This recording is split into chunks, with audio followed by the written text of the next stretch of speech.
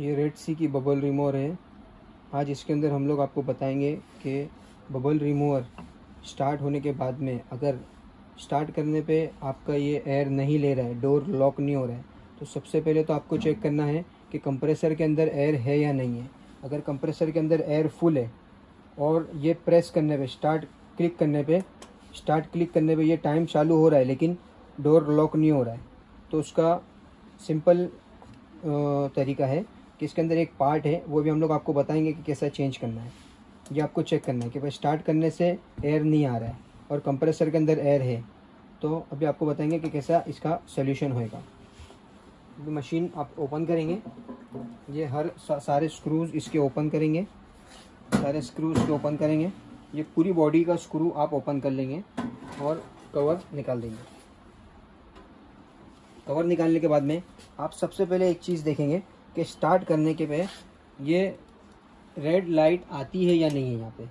यहाँ आपको चेक करना है कि रेड लाइट आ रही है या नहीं आ रही है।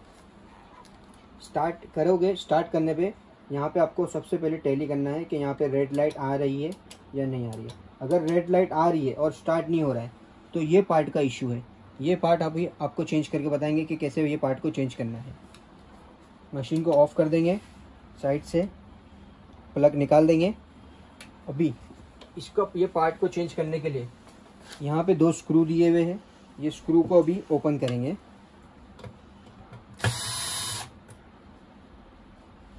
ये दोनों स्क्रू ओपन करेंगे।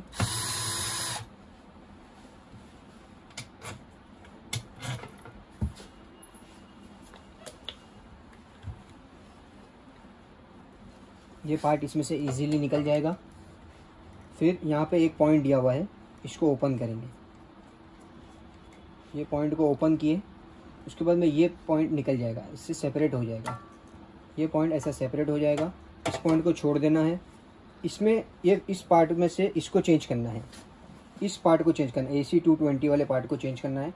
अभी नया पार्ट आपको दिया जाएगा तो इस, इसमें से आपको सिर्फ़ इसका स्क्रू निकालना है।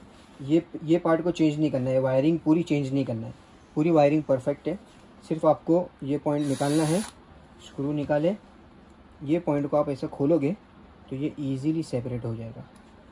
ये इजीली सेपरेट हो गया। ये आपका डैमेज पार्ट है। ये आपका न्यू पार्ट है। अभी अपन न्यू पार्ट को भी इसको ओपन कर लेंगे।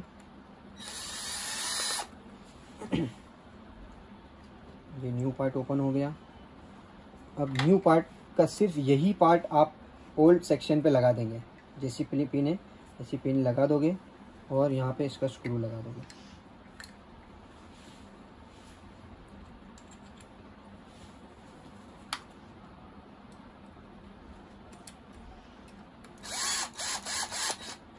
ये हो गया टाइट ये हो गया टाइट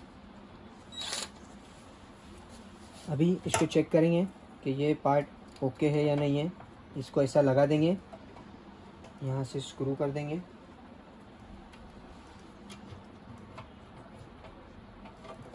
ये लगाने के बाद इसका नीचे का पहले नट भी लगा देंगे।